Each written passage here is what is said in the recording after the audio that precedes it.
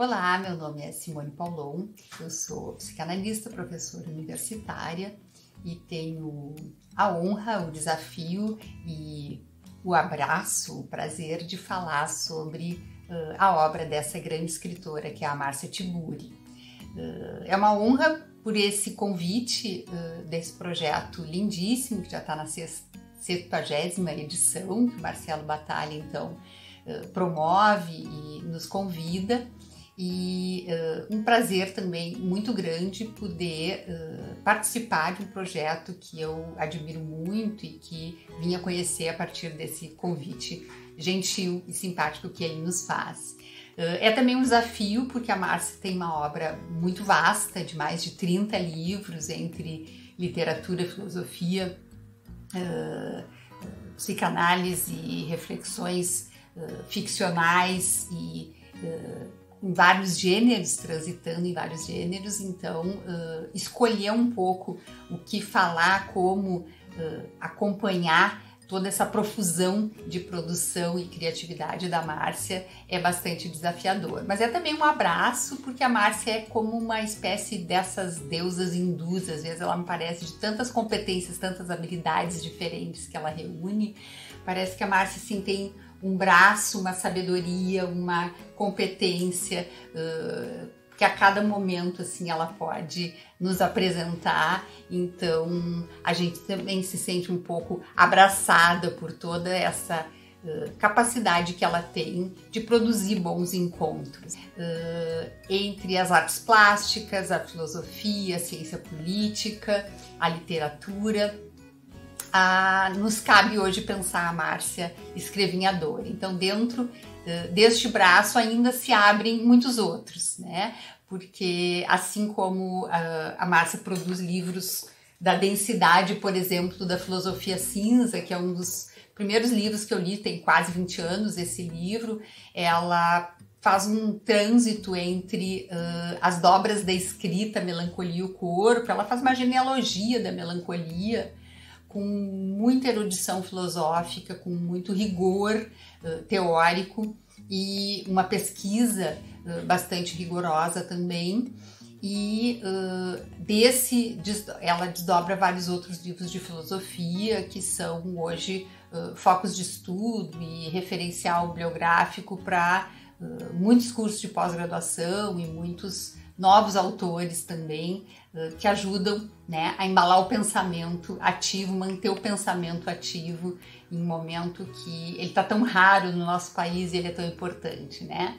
Uh, mas a par de toda essa obra filosófica, que é uma das formações de origem da Márcia, ela tem várias obras também de muita densidade psicológica. Né? Uma das minhas preferidas é esse quatro passos sobre o vazio também, onde é, ela propõe o ousado projeto para o psicomapeamento de Hamlet. A Márcia parte de um, uh, de um esquema, né, de um desenho que ela faz pensando uh, o acompanhamento do projeto, então, uh, psicológico do Hamlet em quatro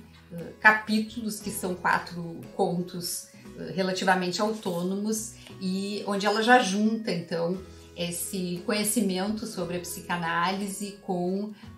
a literatura clássica e faz um jogo também com as artes plásticas, que é a sua outra formação, que é muito curioso, muito interessante.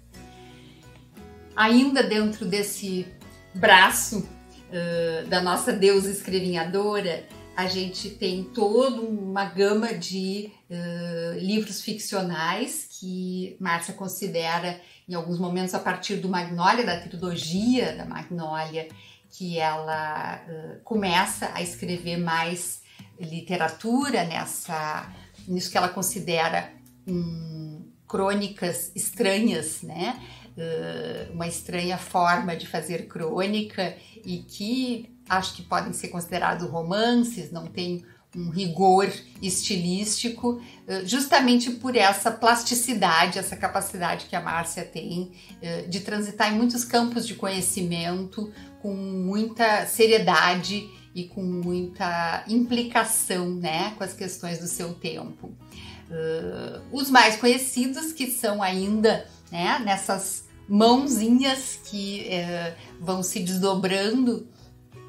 no percurso literário da Márcia, uh, que são os best-sellers de análise política a partir do Como Conversar com um Fascista, que hoje foi colocado mais recentemente no livro diálogo, meio brincadeira, mas é uma peça de teatro. Uh, o fascista, de como de, inicialmente uh, como conversar com o fascista, foi agora colocado num divã, né? E nos seus dilemas existenciais ele dialoga então com uma psicanalista, uh, seguido do ridículo político, que na no prefácio uh, do Luiz Inácio Lula da Silva ele diz que se há algo que não falta a autora é coragem e ousadia também na literatura, que aí aparece muito bem retratado né, nessa experiência uh, intensa que a Márcia teve também na sua incursão mais com a política institucional, onde ela faz uma análise muito rigorosa. E uh, alguns outros livros também que ela já vinha trabalhando, por exemplo, da experiência também do programa de televisão, da experiência com a mídia mais mass media que foi uh, importante na vida da Márcia. Ela tem um, um livro menos conhecido, menos uh, campeão de vendas, mas que é igualmente interessantíssimo como o Olho de Vidro, onde ela faz uma análise das relações que a televisão uh, impõe né, e coloca no plano da subjetivação como também uh, uma formação subjetiva muito densa e complexa que ela experimentou na pele, literalmente no corpo, ao fazer durante alguns anos um programa de televisão. Temos ainda na linha do ativismo e reflexões políticas esse delicioso manifesto, né? Que é o primeiro livro uh, oficialmente feminista da Márcia, apesar de ela ser uma feminista muito conhecida e falar muito sobre feminismo, é o primeiro livro que ela dedica então ao feminismo em comum para todas, todos e todos, e que está traduzido em várias línguas. Uh, no italiano, inclusive, a partir do seu primeiro capítulo, uh, que o feminismo é o contrário da solidão, se tornou então o título né, da edição italiana recentemente lançada e já também fazendo bastante sucesso uh, no primeiro mundo. Uh, Márcia tem ainda uma uh, eloquência né, política que ela junta com essa criação ficcional, com alguns elementos biográficos e atualmente com profundas análises da psicopolítica, que é um tema que ela tem explorado bastante e que nesse seu super recente, na verdade está chegando, eu ainda não terminei, mas estou encantada aqui uh, nessa nova leitura, que uh, três de vocês, né, vão ter o prazer de uh, receber como um presente aí também do Projeto Marcelo, que é essa análise super atual da humilhação brasileira a partir desse conceito do Nelson Rodrigues, que é o complexo de vira-lata. Só para dar uma palhinha do quanto uh, eu acho que pode se considerar esse um livro ápice, talvez o próximo que ela escreva na sua já maturidade de escritora, eu digo mesmo, mas eu considero que o Complexo de Vira-Lata consegue reunir muitas dessas habilidades, uh, desses muitos braços que eu falo da Márcia, porque desde a sua capa, que é uma, um desenho dela, né, de um vira-lata com uma expressão uh, muito eloquente para falar uh, dessa humilhação que nos caracteriza como povo colonizado, uh, escravizado em muitos sentidos, e que a Márcia se dedica então a pensar uh, a partir desse complexo de Colombo, que ela então uh, põe em análise, e eu vou ler só uma palhinha para vocês ficarem com o gostinho do que temos pela frente como o mais atual uh, produção da nossa escritora. Assim, os povos colonizados, humilhados pela colonização, ao serem colocados hipnoticamente em um lugar conceitual e epistemológico que não seria o seu, em um deslocamento que só é possível pela lógica da medida por uma operação mágica de nomeação, acabam por se livrar da magia ou da hipnose colonial imposta.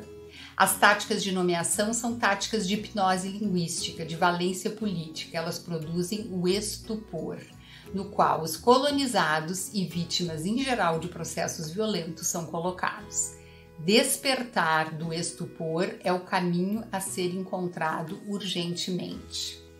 Leiamos, portanto, Márcia Tiburi com a urgência que o nosso tempo nos exige. Boa conversa!